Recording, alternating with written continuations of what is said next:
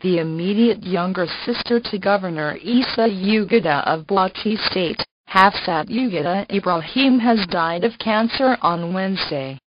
His colleagues in the Nigerian Governors Forum Forum, in a message conveyed through the Director General of the NGF, Mr. Asishana Okauru, expressed their grief over the incident.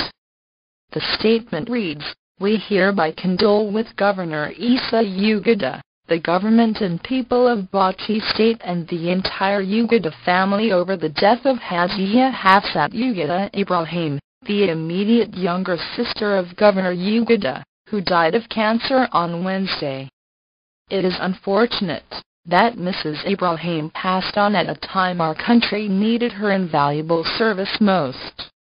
Her loss is no doubt a monumental loss to our nation. Click the link below to go to.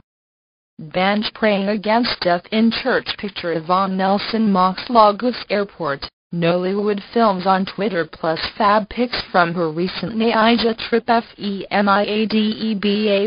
set. To quit acting declares interest in politics celeb storm Iroko TV boss, Jason Njoku's wedding to Mary Remmy Pictures.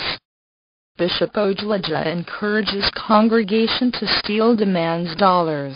As offerings in his Lagos church I get favors here and there. The biggest is a Murano Jeep from a fan S-I-K-I-R-A-T-U-S-I-N-D-O-D-O romances the United States-based promoter, TOLAD Promotions alleged battering.